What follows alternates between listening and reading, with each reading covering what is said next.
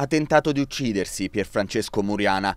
Mentre era atteso in tribunale ieri mattina per essere interrogato a proposito del depistaggio nel caso della tragedia di Rigopiano, l'ex capo della Mobile, attuale dirigente del commissariato di Manfredonia, era nei pressi dello stadio di Francavilla al mare, chiuso nell'automobile, tentando di soffocarsi col gas di scarico. Tardo dieci minuti aveva scritto al suo legale prima di sparire. Presumibilmente il suicidio era programmato già dal giorno precedente, quando Muriana aveva acquistato un tubo di gomma e del nastro adesivo e aveva scambiato la sua auto ibrida con quella del padre. Il poliziotto però non è riuscito a portare a compimento il suo piano. Una pattuglia dei carabinieri forestali ha notato l'auto appartata e ha salvato la vita dell'aspirante suicida.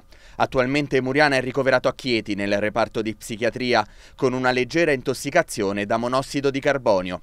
Nell'auto in cui la sua vita sarebbe potuta terminare, un biglietto in cui spiega le ragioni del gesto disperato. Non c'entro nulla con la vicenda Rigopiano, avrebbe scritto il poliziotto. Muriana aveva accusato tre carabinieri forestali di falso nella conduzione delle indagini sul crollo dell'hotel, accuse poi ritenute prive di fondamento per la procura che archiviò il caso. Da qui la denuncia per calunnia, da cui Muriana si sarebbe dovuto difendere ieri mattina.